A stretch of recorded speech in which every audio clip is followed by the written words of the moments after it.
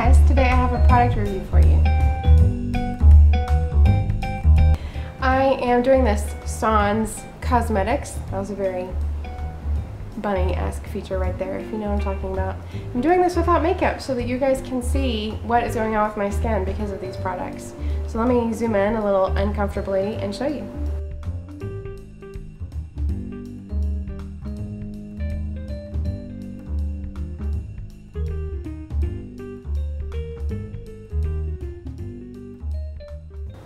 For the last few weeks, I have been trying out the Evan Healy products. I really like their line because, well, first of all, it's a woman, and she just believes in sustainable life and sustainable living for your skin as well. So all of her products are um, kind of small batch made in the Pacific Northwest, which is just freaking cool in the first place. Totally hipster sucker for anything from Portland or Seattle. Whoops. So um, she makes everything, you know, from organically grown plant-based derivatives, and I picked up her Rose Balancing line. I really appreciate her Rose Balancing line because it does something that I've never seen advertised, uh, specifically from a set of um, products, right? So it balances your oil and the water in your skin, which if you have watched my skin care story, you know that I have a problem with this. So it uses rose and geranium and a couple of other um, plant-based hydrosols, I guess is the word she uses, to balance the water and oil in your skin. So it's kind of created for combination oily skin people that are also also prone to hydration issues, which is totally me.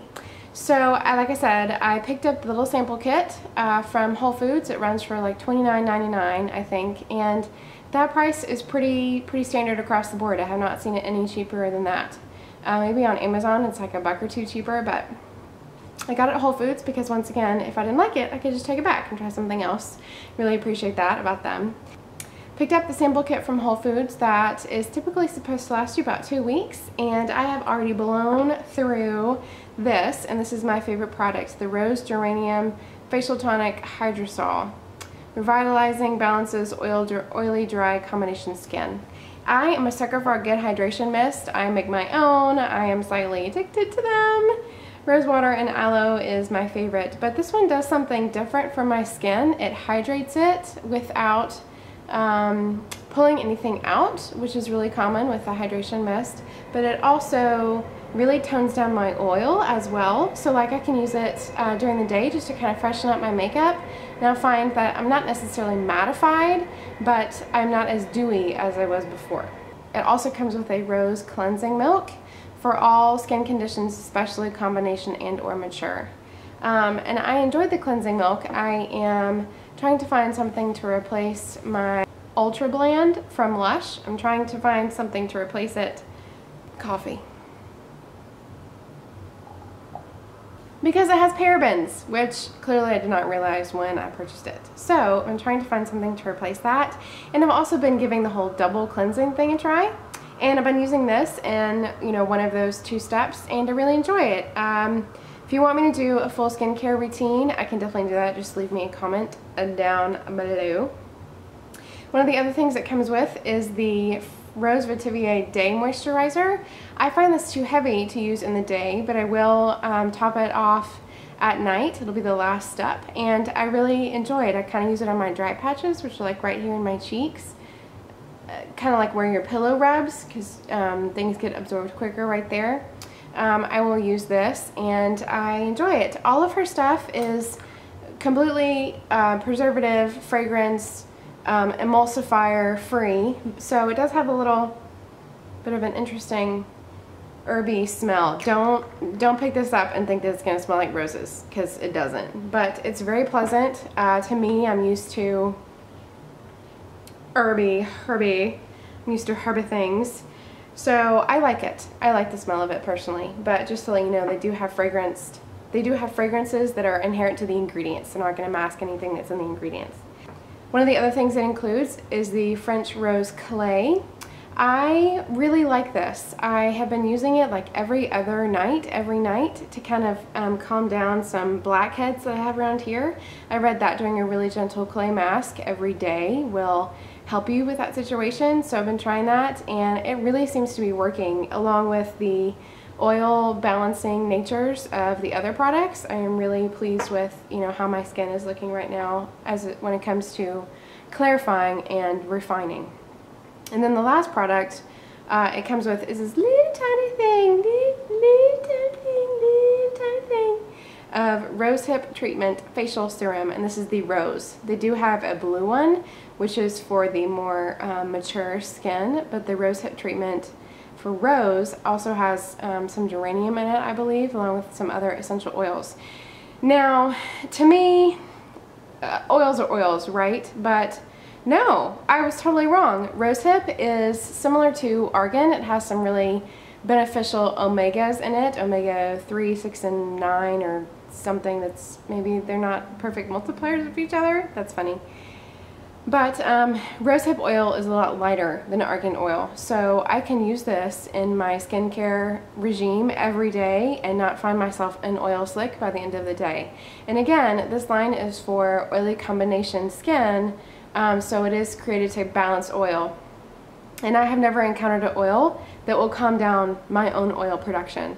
But this one absolutely does. And um, I really enjoy the, yeah, really enjoy it.